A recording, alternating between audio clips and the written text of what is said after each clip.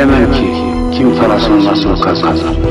Helal midir, haram mıdır? Ama, ama sende başka bir hal var. Senin verdiğin ekmek helal kokuyor. Siz bunca hizmet ederken şu söyledikleri laflara bak. Milletinizin her türlü derdine koşarsınız. Gecenizi gündüzünüze katarsınız.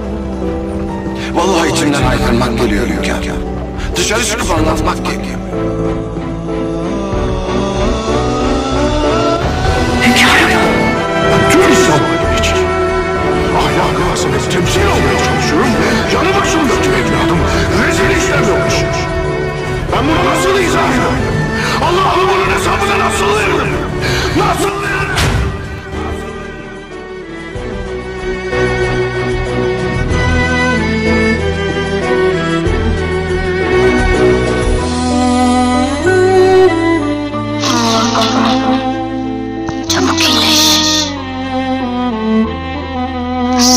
した